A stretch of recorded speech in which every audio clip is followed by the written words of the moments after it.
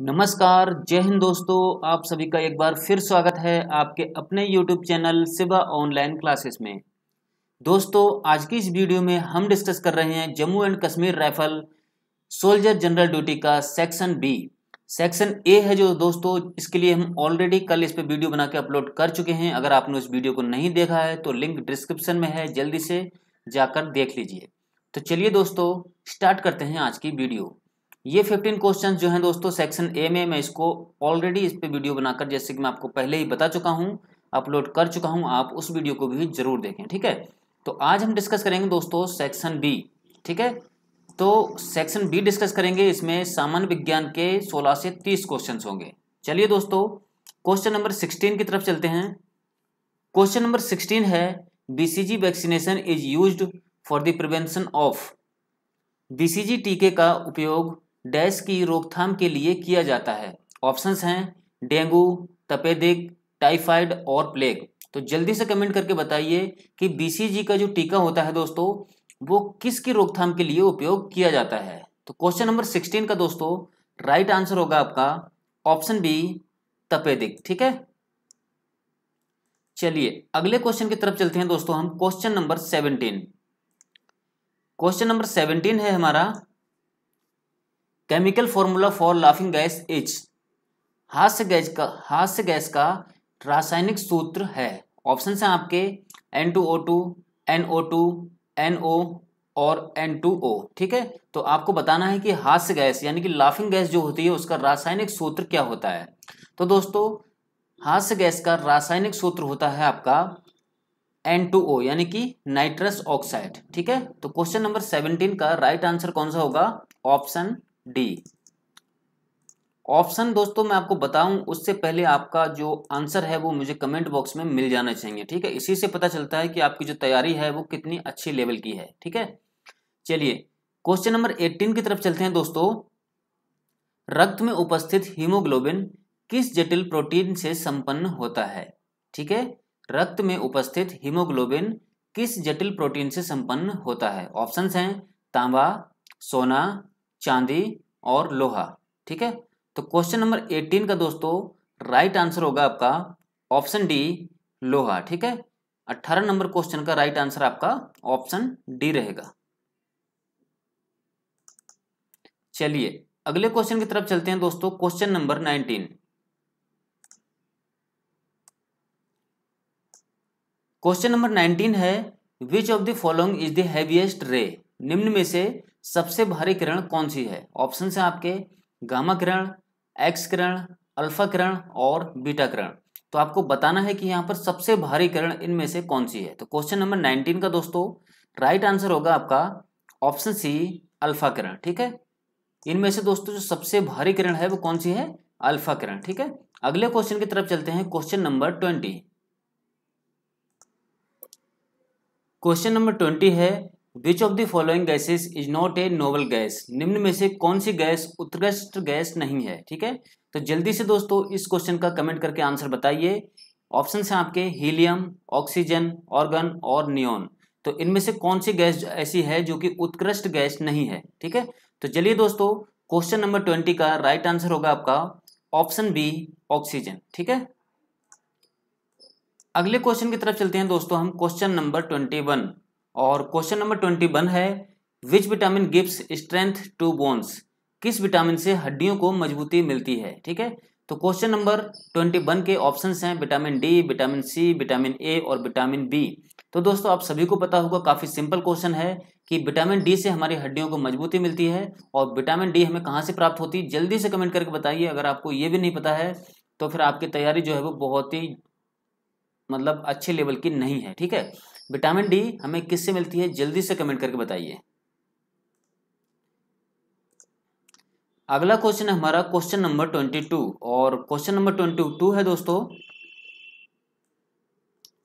which instrument is use to see heavenly bodies ठीक है, आकाशीय पिंडों को देखने के लिए कौन सा यंत्र प्रयोग में लाया जाता है? ऑप्शंस हैं telescope, bioscope, periscope and microscope. तो दोस्तों आकाशीय पिंडों को देखने के लिए टेलीस्कोप का प्रयोग किया जाता है तो यहाँ पर क्वेश्चन नंबर ट्वेंटी टू का राइट आंसर होगा ऑप्शन ए। अगला क्वेश्चन है हमारा question number twenty three. Question number twenty three है दोस्तों, डाक्टाइलोज डाइक्टाइलोग्राफी डैश का अध्ययन है, ठीक है? ऑप्शन है आपके, फॉरेंसिक, कार्बन डेटिंग, लिखावट और फिंगरप्रिंट्स, ठीक है? तो आपको यहाँ पर बताना है दोस्तों कि डाक्टाइलोग्राफी किसका अध्ययन है? ऑप्शन आपको बता चुका हूँ। अगर आपको ऑप्शन पता है तो जल्दी से कमेंट बॉक्स में कमेंट कर दिया करें। क्वेश्चन नंबर ट्वेंटी थ्री का दोस्तों राइट आंसर होगा आपका ऑप्शन डी फिंगरप्रिंट ठीक है?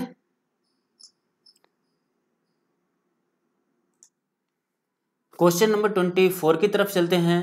क्वेश्चन नंबर ट्वेंटी फोर है lens is made up of ठीक है? लेंस किससे बनता है? ऑप्शन है आपके, सामान्य glass Pyrex glass flint glass या फिर कोबाल्ट ग्लास। तो दोस्तों, लेंस जो बनता है, वो बनता है फ्लिंट ग्लास से। तो यहाँ पर क्वेश्चन नंबर ट्वेंटी फोर का राइट आंसर कौन सा होगा? ऑप्शन सी, ठीक है? चलिए, अगले क्वेश्चन की तरफ़ चलते हैं दोस्तों। क्वेश्चन नंबर ट्वेंटी फाइव और क्वेश्चन नंबर ट्वेंटी फाइव है हमारा, the instrument use to measure the concentration of salt water as ठीक है?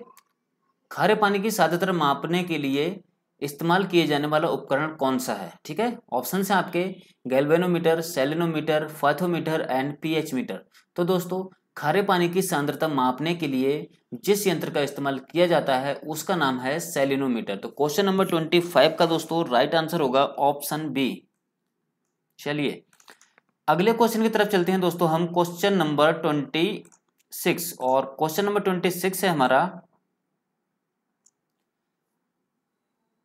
ग्रीन हाउस प्रभाव मुख्य रूप से वायुमंडल में वृद्धि की वजह से है। मतलब ऐसी कौन सी गैस की वायुमंडल में वृद्धि हो रही है जिसके प्रभाव से ग्रीन हाउस प्रभाव बढ़ता जा रहा है, ठीक है?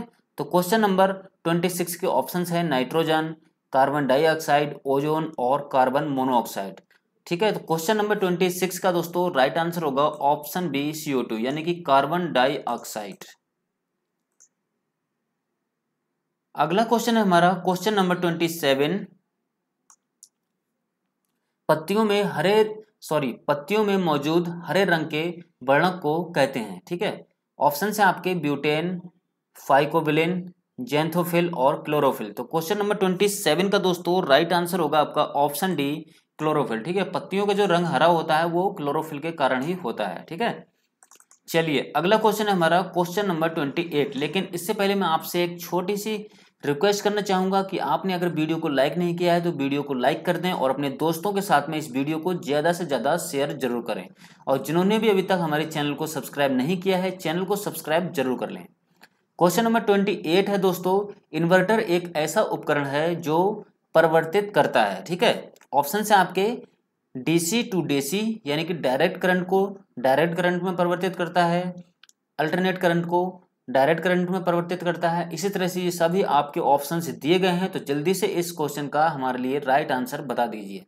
तो दोस्तों, इन्वर्टर एक ऐसा उपकरण है जो कि दोस्तों, डीसी टू एसी यानी कि डायरेक्ट करंट करंट को अल्टरनेट करंट में जो है वो परिवर्तित करता है। तो क्वेश्चन नंबर ट्वेंटी एट का राइट आंसर होगा आपका option C, DC to AC.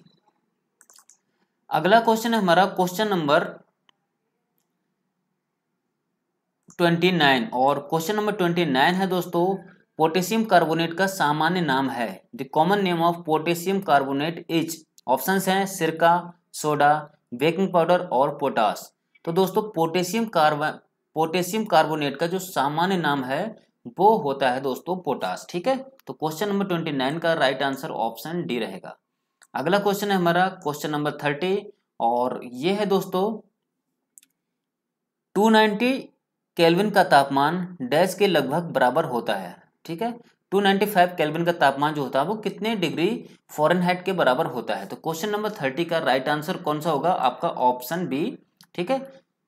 Seventy one point three three degree Fahrenheit के बराबर होता है 295 डिग्री कैल 295 केल्विन का तापमान। तो चलिए दोस्तों, आज की वीडियो में बस इतना ही। कल फिर मिलेंगे एक नई वीडियो के साथ में। तब तक लिए नमस्कार। जय हिंद, जय भारत।